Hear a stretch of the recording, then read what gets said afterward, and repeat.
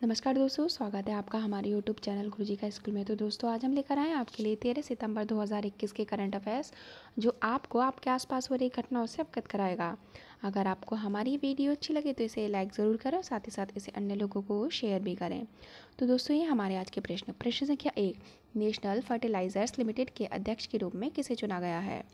तो इसका सही उत्तर है निर्लेप सिंह राय। निर्लेप सिंह राय ने नेशनल फर्टिलाइजर्स लिमिटेड के अध्यक्ष और प्रबंध निदेशक के रूप में पदभार संभाला है। एन एफ़ एल यानी नेशनल फर्टिलाइजर्स लिमिटेड एक भारतीय राज्य के स्वामित्व वाला निगम है, जो रासायनिक उर्वरकों, जैविक उर्वरकों और औद्योगिक रसायनों का निर्माण करता है। प्रश्न संख्या दो किस देश द्वारा पाँच सितंबर को गौरी लंकेश दिवस के रूप में घोषित किया गया है।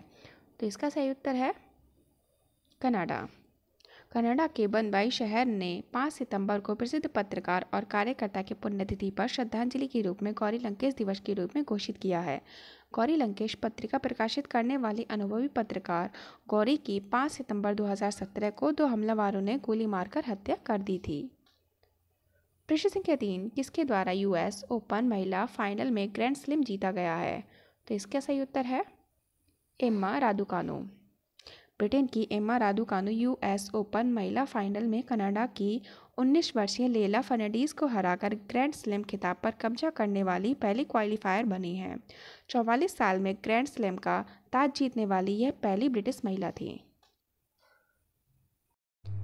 प्रश्न संख्या चार किस राज्य में ब्रेस्ट मिल्क पंप बैंक खोला गया है? तो इसका सही उत्तर है, पंजाब। पंजाब के लुधियाना जिला प्रशासन ने सिविल अस्पताल में मातृ एवं शिशु अस्पताल के परिसर में एक ब्रेस्ट मिल्क पंप बैंक खोला है। यह पंजाब में इस तरह का पहला बैंक है, जहाँ नवजात शिशु और स्तनपान कराने से संबंधित समस्या के समाधान के लिए किया गया है। प्रश्न संख्या पाँच उत्तर प्रदेश सरकार द्वारा किस ज़िले में बाईस स्थलों को पवित्र तीर्थ स्थल घोषित किया गया है? तो इसका सही उत्तर है, मथुरा। उत्तर प्रदेश सरकार ने मथुरा वृंदावन नगर निगम क्षेत्र के 22 वार्डों को पवित्र तीर्थ स्थल घोषित किया है।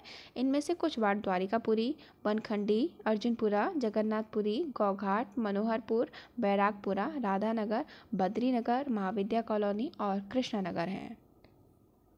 प्रश्न संख्या छः किसके द्वारा फ़िल्म उद्योग के दैनिक वेतन भोगियों के लिए साथी कार्ड पहल शुरू की गई है?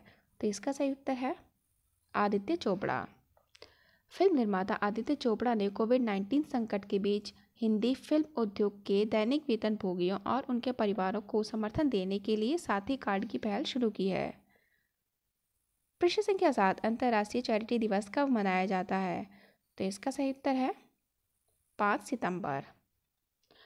मदर टेरेसा की पुण्यतिथि पर हर वर्ष पाँच सितंबर को अंतर्राष्ट्रीय चैरिटी दिवस के रूप में मनाई जाती है। दलितों के प्रति समर्पण के लिए प्रसिद्ध मदर टेरेसा का पाँच सितंबर उन्नीस सौ सत्तानवे को निधन हो गया था। प्रश्न संख्या आठ, a rude life the memoir पुस्तक किसके द्वारा लिखी गई है? तो इसका सही उत्तर है वीर सांघवी। वीर सांघवी अपनी नई पुस्तक, a rude life the memoir लेकर आए हैं। पुस्तक पेंगुइन इंडिया द्वारा प्रकाशित की गई है। प्रश्न संख्या नौ किसके द्वारा भारत का पहला इंटरेक्टिव प्लेटफॉर्म लॉन्च किया गया है? तो इसका सही उत्तर है फ़ोन पे वालमार्ट के स्वामित्व वाली डिजिटल भुगतान फर्म फ़ोनपे ने फ़ोन पे पल्स लॉन्च किया है। यह देश में डिजिटल भुगतान पर डेटा अंतर्दृष्टि और रुझानों के साथ भारत का पहला इंटरेक्टिव प्लेटफॉर्म है। प्रश्न संख्या दस, सीमा सुरक्षा बल के नए महानिदेशक के रूप में किसे नियुक्त किया गया है? तो इसका सही उत्तर है पंकज कुमार सिंह। उन्नीस सौ अट्ठासी बैच के आईपीएस अधिकारी पंकज कुमार सिंह ने सीमा सुरक्षा बल के नए महानिदेशक के रूप में पदभार ग्रहण किया है, जबकि संजय अरोड़ा ने भारत तिब्बत सीमा पुलिस की कमान संभाली है। प्रश्न संख्या ग्यारह, हाल ही में किसके द्वारा world photographer of the year का पुरस्कार जीता गया है? तो इसका सही उत्तर है Alejandro Prieto. Mexican photographer Alejandro Prieto की यूएस मैक्सिको सीमा की दीवार पर एक पक्षी की फ़ोटो ने प्र, एक प्रतिष्ठित फ़ोटो प्रतियोगिता जीती है। इस फ़ोटो के लिए उन्हें world photographer of the year प्रतियोगिता का भव्य पुरस्कार विजेता नामित किया गया था।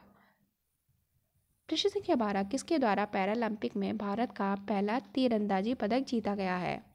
तो इसका सही उत्तर है हरविंदर सिंह। हरविंदर सिंह ने पैरालंपिक में भारत का पहला तीरंदाजी पदक जीता है। विश्व नंबर तेईस हरविंदर ने तीन शूट ऑफ़ जीत प्राप्त की है। प्रश्न संख्या तेरह किस देश द्वारा ग्रीन वीज़ा शुरू करने और गोल्डन वीज़ा की पात्रता का विस्तार करने के लिए योजना प्रारंभ की गई है? तो इसका सही उत्तर है संयुक्त अरब अमीरात। संयुक्त अरब अमीरात ग्रीन वीज़ा शुरू करने और गोल्डन वीज़ा के लिए पात्रता का विस्तार करने के लिए तैयार हैं। ग्रीन वीज़ा के तहत विदेशियों को एक नियोक्ता द्वारा प्रायोजित किए बिना संयुक्त अरब अमीरात में कार्य करने की अनुमति होगी। प्रश्न संख्या चौदह, किस कंपनी द्वारा किसान ई स्टोर लॉन्च करने की घोषणा की गई है? तो इसका सही उत्तर है अमेज़ॉन। अमेज़न इंडिया ने किसान ई स्टोर लॉन्च करने की घोषणा की है। छोटे और मध्यम व्यवसायों द्वारा सूचीबद्ध में उत्पाद अमेज़न इंडिया पर प्रतिस्पर्धी कीमतों पर उपलब्ध होंगे। प्रश्न संख्या पंद्रह, किस राज्य सरकार द्वारा वतन प्रेम योजना प्रारंभ की गई है? तो इसका सही उत्तर है गुजरात। गुजरात सरकार ने अपने वतन प्रेम योजना के तहत दिसंबर 2022 तक अनिवासी गुजरातियों के साथ संयुक्त रूप से एक हज़ार करोड़ रुपए की जन कल्याणकारी योजनाओं को शुरू करने की योजना बनाई है। दोस्तों, आज के प्रश्नों की श्रृंखला हमारी यही समाप्त होती है। अगर आपको हमारी वीडियो अच्छी लगे तो इसे लाइक ज़रूर करें और साथ ही साथ इसे अन्य लोगों को शेयर भी करें। धन्यवाद।